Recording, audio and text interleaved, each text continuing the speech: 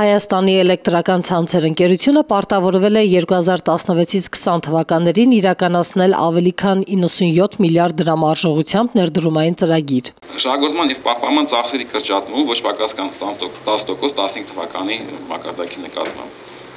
Ընկերության աշխատանք աշխատ, աշխատողների կրճատում մինչև 6800 հոգի։ Հանրային ծառայությունները կարգավորող հանձնաժողովում քննարկվում էր ներդրումային ծրագիրը։ Աշխատանքները կիրականացվեն 6 հիմնական ուղղությամբ։ Էլեկտրատեխնիկական ենթակառուցվածքի արդիականացում,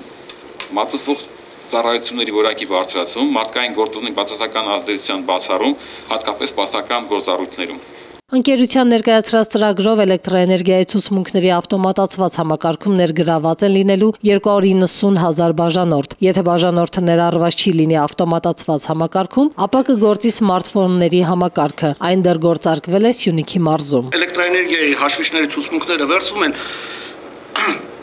էլեկտրոնային ու հեռախոսների, սմարթֆոնների միջոցով, որոնք որ ծրագրային ձևով ավտոմատ գնում եւ իդենտիֆիկացվում են բաժանորդական բազայի հետ։ 2020 թվականին Հայաստանի էլեկտրական ցանցերի կորուստները մաքսիմում պետք է կազմեն 8%։ Մենք 2020 թվականին պետք է ունենանք ընդամեն 8%, ոչ թե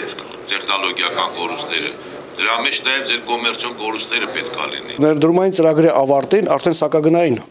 մարժայում ընկերության դրվել է 8%, այսինքն սակագինը սահմանափակվել է կորուստների հետքանով։ Ամեն բան ուղղված է սակագնի հետագա նվազեցմանը։ Այս պայն ընկերության կորուստները կազմում են 11.03%։ Հենց այս ցուցանիշն է դրված հանրային ծառայությունները կարգավորող հանձնաժողովի դեկտեմբերի 23-ի նիստում քննարկվող էլեկտրաէներգիայի սակագների վերանայման հիմքում։ Հայաստանի էլեկտրական ցանցերի հայտով առաջարկվում է 2017 թվականի փետրվարի 1-ից բնակչության համար էլեկտրաէներգիայի սակագինը իջեցնել 4 դրամով։